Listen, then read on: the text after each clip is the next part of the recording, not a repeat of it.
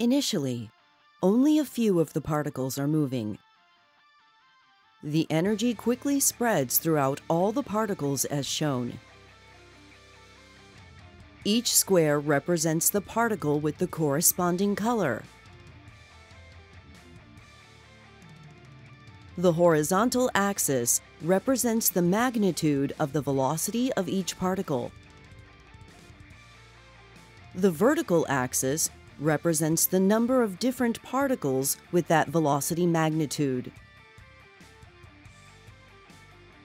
In the graph, the velocity of each particle is rounded to the appropriate number of digits, so that all the squares neatly fit into columns.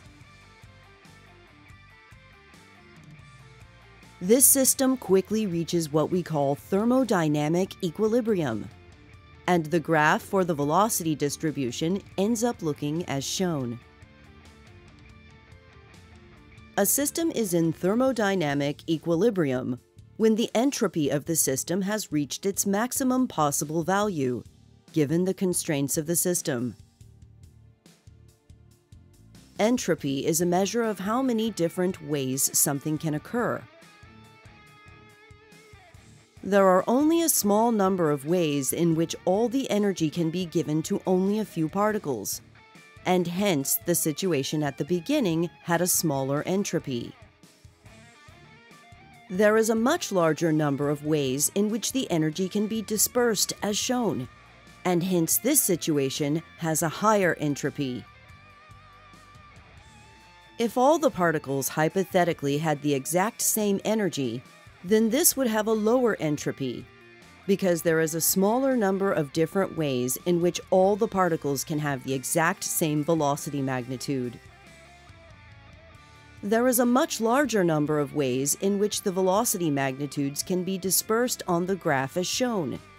And this velocity distribution is what we get when the entropy is at its maximum for this given temperature. In this simulation, all the particles are represented as spheres interacting through perfectly elastic collisions. The total energy of the entire system is always constant. The average kinetic energy per sphere is what we call temperature. If we increase the temperature by adding energy to the system, the graph for the velocity distribution changes as shown.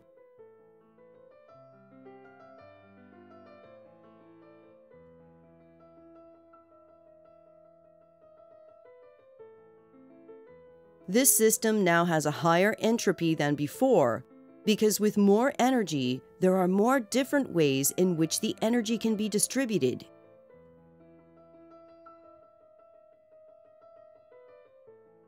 On average, the graph will look like this.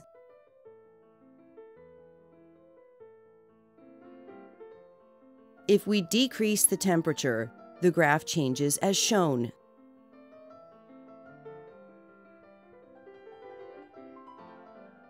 Here are the graphs for a variety of different temperatures.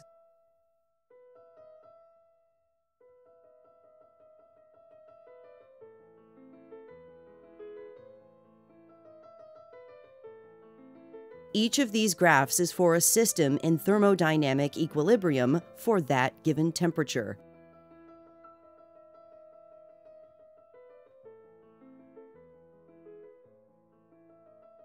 A system is in thermodynamic equilibrium when the entropy of the system has reached its maximum possible value, given the constraints of the system. Entropy is a measure of how many different ways something can occur. Each of the different ways something can occur is what we call a microstate. Here, a microstate would consist of all the positions and velocities of all the particles at a given moment in time. In quantum physics, the way we count microstates is different than in classical physics. For example, Consider the positions and velocities of several identical particles at a given moment in time.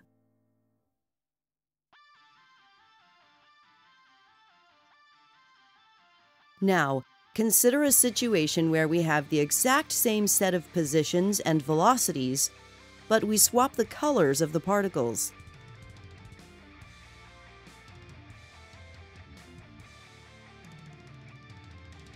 In a classical system, we can do this because the particles are distinguishable, and each of these cases is counted as a separate possible microstate.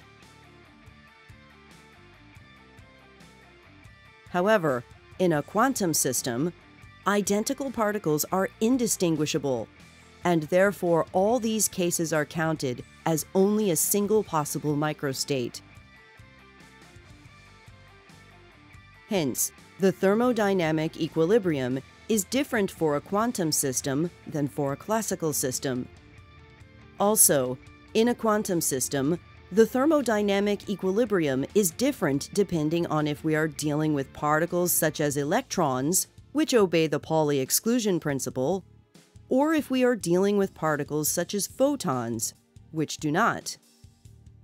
The Pauli exclusion principle prevents multiple identical particles from occupying the exact same quantum state.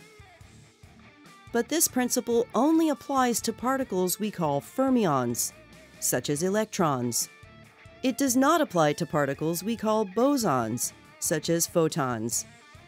Hence, the thermodynamic equilibrium will be different for a system of fermions than it will be for a system of bosons. Though, at high temperatures and low particle concentrations, the energy distribution for a system of fermions or for a system of bosons will look very similar to that of a system of classical particles.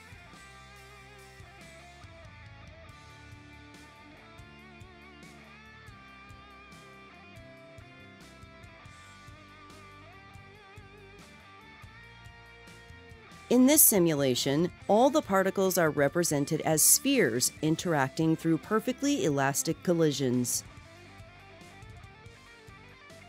Everything we've discussed so far assumes that the particles behave as independent spheres with no rotational energy and no potential energy in bonds between particles.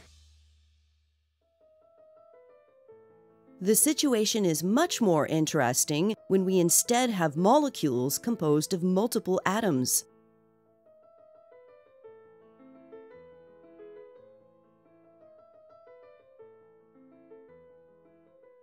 This is discussed in detail in the video Molecular Temperature and Degrees of Freedom.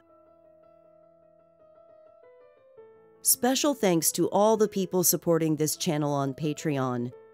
Your support is very much appreciated.